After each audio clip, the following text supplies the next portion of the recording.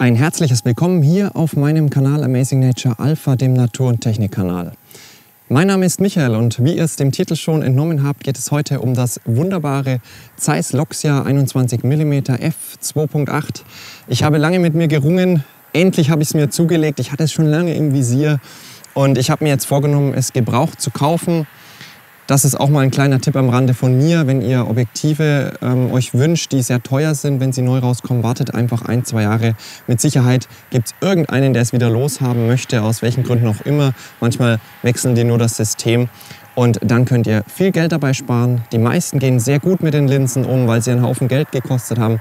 Und deswegen empfehle ich euch, kauft sie euch gebraucht Wobei jetzt treibe ich mir selber den Preis in die Höhe, denn wenn ihr alle gebraucht kauft, dann habe ich weniger Auswahl. Aber Scherz beiseite. Also es, es kann sich wirklich lohnen.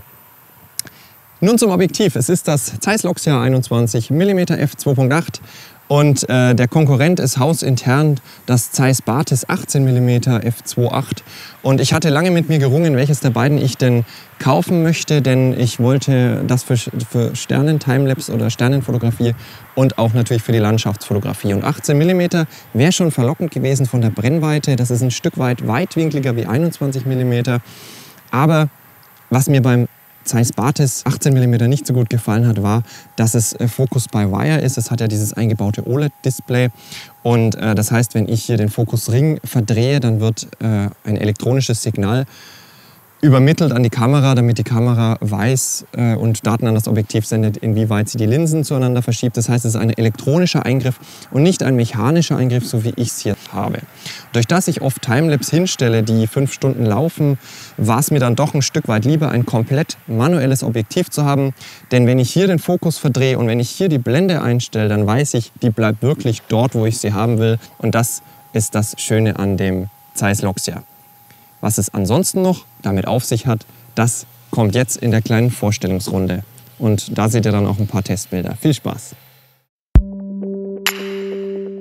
Der Name Zeiss ist unter den Fotografen unumstritten ein Name, der mit höchster Güte und exzellenter Qualität in Verbindung gebracht wird. Das Loxia wurde für spiegellose Vollformatkameras von Sony konzipiert und besitzt ein E-Mount-Bajonett.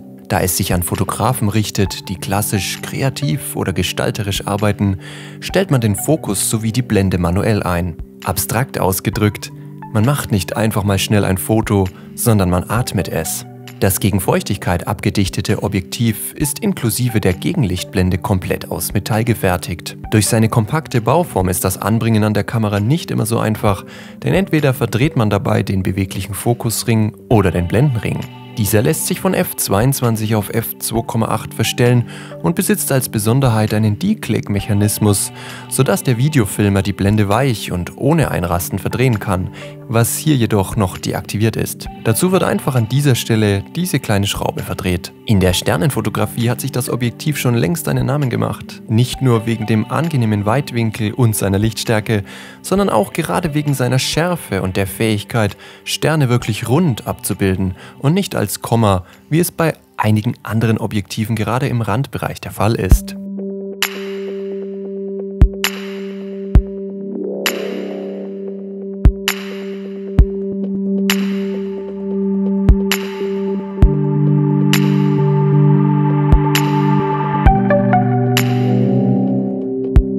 Berühmt geworden ist es auch wegen den wahrscheinlich schönsten Blendensternen, seitdem es Fotografie gibt.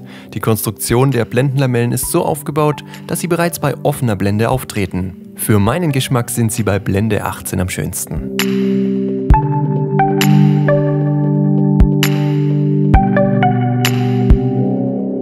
Auch chromatische Aberrationen scheinen für diese Linse kein Problem zu sein. Selbst im totalen Gegenlicht konnte ich selbst bei feinen Strukturen keine entdecken.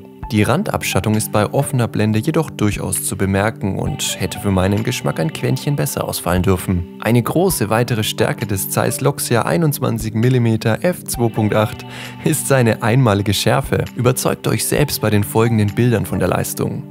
Die Bilder sind so scharf, dass ich euch keine 100% Ausschnitte zeige, nein, sondern gleich 150% und einmal sogar 400%, damit ihr die Grenzen überhaupt erahnen könnt, wo die Schärfe aufhört.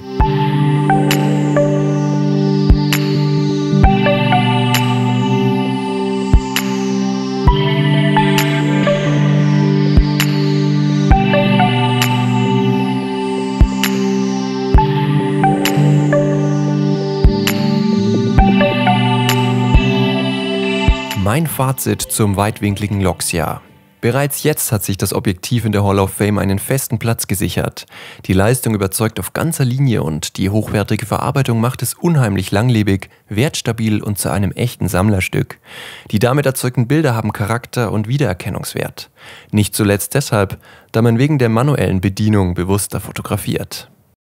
Ja, willkommen zurück. Jetzt habt ihr gesehen, was es mit dem Loxia auf sich hat. Ich kann diese Linse uneingeschränkt weiterempfehlen. Es ist ein richtiges Sammlerstück, ein Liebhaberstück und es wird mit Sicherheit, wenn ihr es gebraucht bekommt, sogar den Wert noch halten, da ihr ja den ersten UVP-Block äh, schon beim Erstkäufer gelassen habt.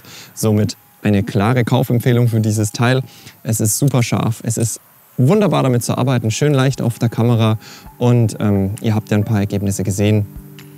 Am Ende blende ich euch noch eine Timelapse ein. Eine geht noch, die ich auch mit dem Loxia gemacht habe und ich hoffe, ihr habt ein bisschen Freude dran. Ich freue mich auch, wenn ihr das nächste Mal wieder reinschaut. Wenn ihr Fragen habt, stellt sie einfach unten in den Kommentaren. Ich sage bis zum nächsten Mal. Bis dahin. Tschüss.